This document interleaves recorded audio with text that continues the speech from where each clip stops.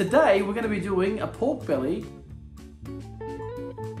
We are going to uh, make a rub. Cloves, star anise, fennel seeds, paprika, and pound at it gently. And then rub, apply some pressure. We're going to just gently juice it. And it's going to start the cooking process. It's also going to help us get the crackling beautiful. Score it, in it goes. Do be careful when you're doing this. First, over the skin itself. Go son, rub it in.